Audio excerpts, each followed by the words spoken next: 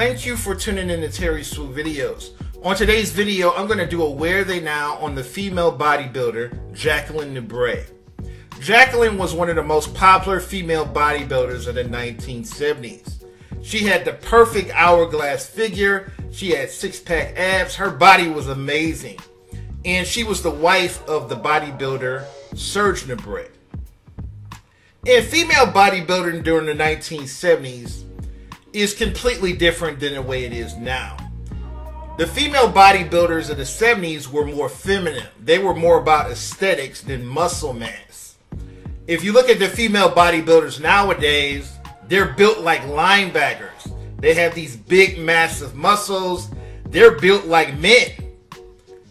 In the 70s, female bodybuilders, they were more feminine.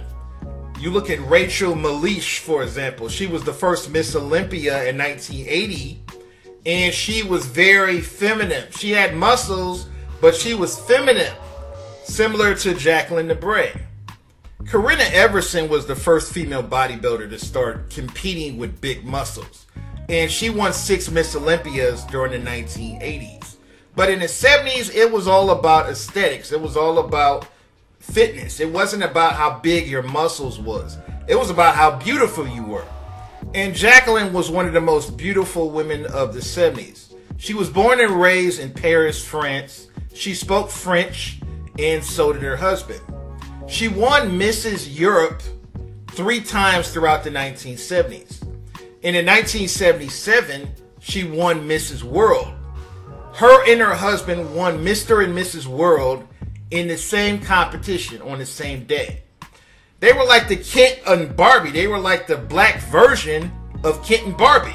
They both looked flawless. They both had a strict diet and they both worked out six hours a day. Serge was good friends with Arnold Schwarzenegger during his bodybuilding career. He was a bodybuilder for over 40 years. He was still competing well into his 60s. Throughout his career, he won Mr. Universe seven times but he never won Mr. Olympia. He always placed second behind Arnold Schwarzenegger throughout the 1960s and the 70s. Even though I thought he had a better physique than Arnold Schwarzenegger. Arnold may have had bigger muscles, but Serge had a better physique. He had better aesthetics. But he always placed second behind Arnold. But unfortunately, Serge passed away in 2011. He was 71 years old at the time. And I think he should go down in history as one of the greatest bodybuilders of all time, even though he never won Mr. Olympia. And Jacqueline is still alive and well. Today, she's 72 years old. And as you can see, she looks lovely. She gave up bodybuilding after the 70s. And today, she's a real estate agent. And she's, I'm just glad to see that she's still alive and well. I think she paved the way for a lot of female bodybuilders. And I think her physique is what female bodybuilders should look like. They shouldn't be these mass monsters like they are today. I think female bodybuilders should be more feminine, the way Jacqueline was built.